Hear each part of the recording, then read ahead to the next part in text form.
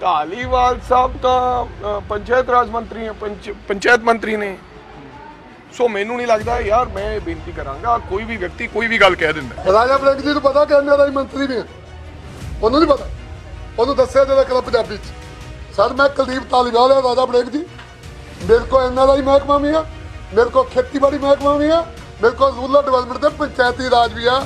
ਪੰਜਾਬ ਕਾਂਗਰਸ ਦੇ ਪ੍ਰਧਾਨ ਜੀ ਇਹ ਚੀਜ਼ਾਂ ਜਿਹੜਾ ਨੋਟ ਰੱਖਿਆ ਕਰੋ। ਇਸ ਤਰ੍ਹਾਂ ਦੇ ਅੱਜ ਪੰਜਾਬ ਦੇ ਹਾਲਾਤ ਹੈ ਜਿਸ ਬਦਲਾਵ ਦੀ ਉਹ ਨੌਜਵਾਨ ਉਡੀਕ ਕਰ ਰਿਹਾ ਸੀ। ਅੱਜ ਜਿਸ ਤਰ੍ਹਾਂ ਦੇ ਹਾਲਾਤ ਹੈ ਮੈਂ ਧੰਨਵਾਦੀ ਹਾਂ ਕੈਨੇਡਾ ਤੇ ਅਮਰੀਕਾ ਤੇ ਆਸਟ੍ਰੇਲੀਆ ਵਰਗੇ ਦੇਸ਼ਾਂ ਦਾ ਜਿਹੜੇ ਉਹ ਸਾਡੇ ਜਵਾਕਾਂ ਨੂੰ ਸਾਂਭ ਰਹੇ ਆ। ਬਹੁਤ ਚੰਗੀ ਸਟੇਟਮੈਂਟ ਹੈ ਕਿਉਂਕਿ ਸਾਂਭ ਨਹੀਂ ਨਾ ਸਕੇ। ਕੈਪਟਨ ਅਮਰਿੰਦਰ ਸਿੰਘ ਦਾ ਰਾਜ ਹੀ ਨਾ ਪਿਛਲੇ 5 ਸਾਲ ਤੇ ਬਾਦਲਾਂ ਦਾ ਰਾਜ ਸੀਗਾ ਉਹ ਨਹੀਂ ਸਾਂਭ ਸਕੇ ਸਹੀ ਬੋਲਦੇ ਹੋ।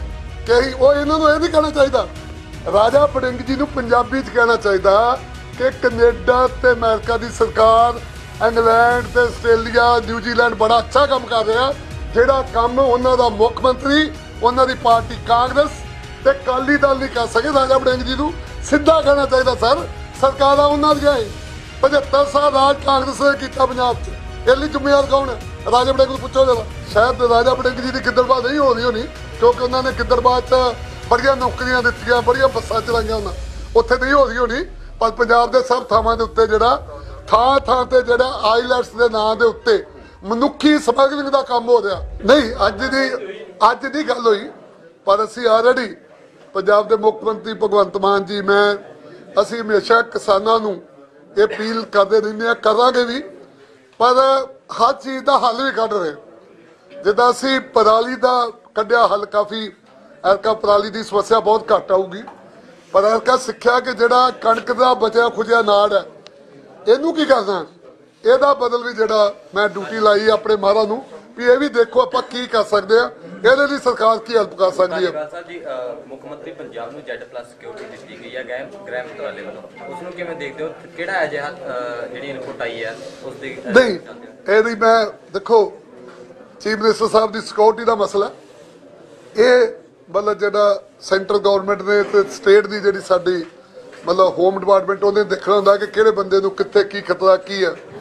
ਉਹ ਲੋੜ ਅਨਸਾਰ ਜਿਹੜੀ ਸਿਕਿਉਰਿਟੀ ਕਰਦੇ ਆ, ਜੇ ਹੋਈ ਹੈ ਤਾਂ ਲੋੜ ਅਨਸਾਰ ਹੋਈ ਹੋਊਗੀ ਬੰਦੇ ਨਹੀਂ ਨਹੀਂ ਮੈਨੂੰ ਇਹਦਾ ਬਾਰੇ ਪਤਾ ਨਹੀਂ ਕਿਉਂਕਿ ਇਹ ਚੀਜ਼ਾਂ ਓਪਨ ਨਹੀਂ ਹੁੰਦੀਆਂ।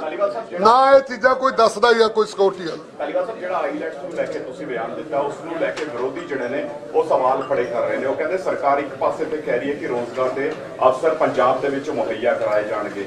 ਅਹ ਬਿਹਤਰ ਸਿੱਖਿਆ ਜਿਹੜੀ ਹੈ ਪੰਜਾਬ 'ਚ ਲੋਕਾਂ ਨੂੰ ਮੁਹੱਈਆ ਕਰਾਈ ਜਾਏਗੀ। ਦੂਜੇ ਪਾਸੇ ਆਈਲੈਟਸ ਨੂੰ ਸਿਲੇਬਸ ਦੇ ਵਿੱਚ ਸ਼ਾਮਲ ਕਰਨਾ ਯਾਨੀ ਸਿੱਧਾ ਸੰਕੇਤ ਹੈ ਕਿ ਯੁਵਾਵਾਂ ਨੂੰ ਬਾਹਰ ਭੇਜਣ ਦੀ ਕੋਸ਼ਿਸ਼ ਕਰ ਰਹੀ ਹੈ ਸਰਕਾਰ। ਇਸ ਤਰ੍ਹਾਂ ਦੇ ਵਿਰੋਧ- ਨਹੀਂ ਨਹੀਂ ਇਦਾਂ ਦੀ ਕੋਈ ਕੋਈ ਨਾਲ ਲੈ ਲਓ ਜੀ ਪਹਿਲਾਂ ਸੁਣੋ ਤੁਸੀਂ। ਨਾਲ ਲਓ। ਇੱਕ ਰਾਜਾ ਬੜਿੰਗ ਨੇ ਇਹ ਗੱਲ ਕਹੀ ਹੈ ਉਹਨੂੰ ਚਾਹੇ ਕਹਿ ਦਈਏ ਵੀ ਟੀਚਰ ਦੇ ਰੂਪ 'ਚ ਉਹ ਕਹਿੰਦੇ ਵੀ ਮੰਤਰੀ ਉਹ ਪੰਚਾਇਤਾਂ ਦੇ ਨੇ ਆਈਲੈਟਸ ਦੇ ਬਿਆਨ ਦਿੰਦੇ ਫਿਰਦੇ ਨੇ। ਰਾਜਾ ਬੜਿੰਗ ਜੀ।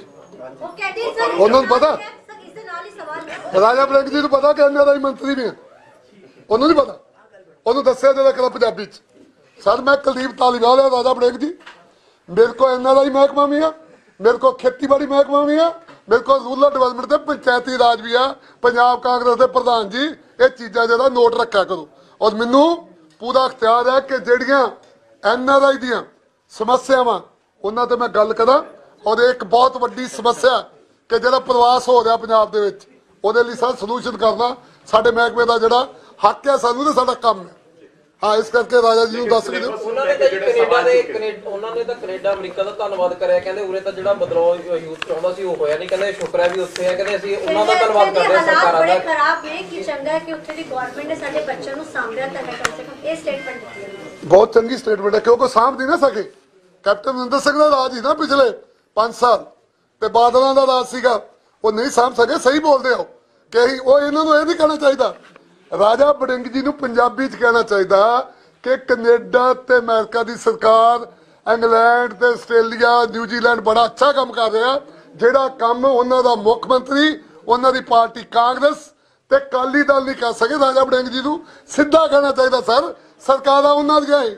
75 ਸਾਲ ਰਾਜ ਕਾਂਗਰਸ ਨੇ ਕੀਤਾ ਪੰਜਾਬ 'ਚ। ਇਹ ਲਈ ਜ਼ਿੰਮੇਵਾਰ ਕੌਣ ਹੈ? ਰਾਜਾ ਬੜਿੰਗ ਨੂੰ ਪੁੱਛੋ ਜਰਾ। ਉਹਨੂੰ ਪੁੱਛੋ ਜ਼ਿੰਮੇਵਾਰ ਕੌਣ ਹੈ? ਐਨਆਰਆਈ ਸੰਮੇਲਨ ਵੀ ਕੀਤਾ ਕੀ ਉਪਰਾਲੇ ਕੀਤੇ ਜਾ ਰਹੇ ਐਨਆਰਆਈ ਨਾ ਨਾ ਇਸ ਵੇਲੇ ਫੇਰ ਕਰਾਂਗੇ। ਅਸੀਂ ਜਿੰਨੀਆਂ ਸਮੱਸਿਆਵਾਂ ਆਈਆਂ ਸੀ ਉਹ ਤੋਂ ਬਹੁਤ ਸਾਰੀਆਂ ਹੀ ਹੱਲ ਕਰਤੀਆਂ। ਬਾਕੀ ਵੀ ਮਤਲਬ ਇਹੀ ਗੱਲ ਕਰਾਂਗੇ। ਲੇਕਿਨ ਧੰਨਵਾਦ ਸਾਹਿਬ। ਨੂੰ ਲੈ ਕੇ ਜਿਹੜੇ ਸਵਾਲ ਕਰ ਰਹੇ ਨੇ ਉਹ ਕਹਿੰਦੇ ਸਿਲੇਬਸ ਸਾਡੀ ਆਈਲੈਟਸ ਦੇ ਨਾਂ ਦੇ ਉੱਤੇ ਲੁੱਟ ਜਿਹੜੀ ਹੋ ਰਹੀ ਹੈ ਉਹ ਲੁੱਟ ਬੰਦ ਕਰਨ ਦੀ ਗੱਲ ਹੈ ਸਰ ਸਿਲੇਬਸ ਦੀ ਗੱਲ ਨਹੀਂ ਸਾਡੀ ਆਈਲੈਟਸ ਦੀਆਂ ਜਿਹੜੀਆਂ ਦੁਕਾਨਾਂ ਖੁੱਲੀਆਂ ਲੋਕਾਂ ਦੀਆਂ ਆਈਲੈਟਸ ਦੇ ਦੁਕਾਨਾਂ ਦੇ ਥਰੂ ਜਿਹੜੀ ਇਮੀਗ੍ਰੇਸ਼ਨ ਹੋ ਰਹੀ ਹੈ ਸ਼ਾਇਦ ਰਾਜਾ ਬੜਿੰਗ ਜੀ ਦੀ ਗਿੱਦੜਬਾਹ ਨਹੀਂ ਹੋ ਰਹੀ ਹੋਣੀ ਕਿਉਂਕਿ ਉਹਨਾਂ ਨੇ ਗਿੱਦੜਬਾਹ 'ਚ ਬੜੀਆਂ ਨੌਕਰੀਆਂ ਦਿੱਤੀਆਂ ਬੜੀਆਂ ਬੱਸਾਂ ਚਲਾਈਆਂ ਉਹਨਾਂ। ਉੱਥੇ ਨਹੀਂ ਹੋ ਰਹੀ ਹੋਣੀ ਪਰ ਪੰਜਾਬ ਦੇ ਸਭ ਥਾਵਾਂ ਦੇ ਉੱਤੇ ਜਿਹੜਾ ਥਾਂ ਥਾਂ ਤੇ ਜਿਹੜਾ ਆਈਲੈਟਸ ਦੇ ਨਾਂ ਦੇ ਉੱਤੇ ਮਨੁੱਖੀ ਸਮਗਲਿੰਗ ਦਾ ਕੰਮ ਹੋ ਰਿਹਾ। ਸਰ ਮੈਂ ਉਹਦੀ ਗੱਲ ਕਰਦਾ ਮੈਂ ਦੂਜੀ ਗੱਲ ਨਹੀਂ ਕਰਦਾ। ਧੰਨਵਾਦ। ਮੁੱਖ ਮੰਤਰੀ ਸਾਹਿਬ ਨੇ ਚਰਨਜੀਤ ਚੰਨੀ ਨੂੰ ਇੱਕ ਸਮਾਂ ਦਿੱਤਾ ਹੈ 31 ਤਰੀਕ ਤੱਕ ਦਾ ਜਿਹੜਾ Ultimatum 2 ਕਰੋੜ ਦੀ ਰਿਸ਼ਵਤ ਖਿਡਾਰੀ ਤੋਂ 2 ਕਰੋੜ ਦੀ ਰਿਸ਼ਵਤ ਦਾ ਜਿਹੜਾ ਮਾਮਲਾ ਸੀਗਾ ਤੁਸੀਂ ਆਪੇ ਦੱਸ ਦਿਓ ਨਹੀਂ ਤਾਂ ਮੈਂ ਜਨਤਕ ਕਰਾਂਗਾ। 31 ਮਈ 2 ਵਜੇ ਤੱਕ ਦਾ ਸਮਾਂ ਤੇ 2 ਵਜੇ ਮੁੱਖ ਮੰਤਰੀ ਸਾਹਿਬ ਨੂੰ ਮਿਲ ਜਾਓ ਨਾ ਨਹੀਂ ਤੁਸੀਂ ਕਿਦਾਂ ਦੇਖਦੇ ਹੋ ਇਸ ਬਿਆਨ ਨੂੰ? ਖਿਡਾਰੀ ਚੰਨੀ ਦੀ ਗੱਲ ਆ ਸੁਣੋ ਚੰਨੀ ਦੀ ਗੱਲ ਆ ਮੁੱਖ ਮੰਤਰੀ ਸਾਹਿਬ ਕਹਿ ਰਹੇ ਆ। ਮੈਂ ਲੱਗਦਾ ਮੇਰਾ ਕੀ ਵਿੱਚ ਲੈਣਾ ਦੇਣਾ? ਖਿਡਾਰੀ ਤੋਂ ਰਿਸ਼ਵਤ ਮੰਗਣਾ। ਉਹ ਮੈਂ ਖਿਡਾਰੀ ਥੋੜਾ ਯਾਰ। ਲੇਕਿਨ ਤੁਸੀਂ ਕਿਦਾਂ ਉਹ ਸੰਜੀ ਉਹ ਸਾਜੀ ਚੰਨੀ ਨੂੰ ਪੁੱਛੋ ਮੁੱਖ ਮੰਤਰੀ ਨੂੰ ਪੁੱਛੋ ਮੈਨੂੰ ਕੱਲ ਪੁੱਛੀ ਜਾਂਦੀ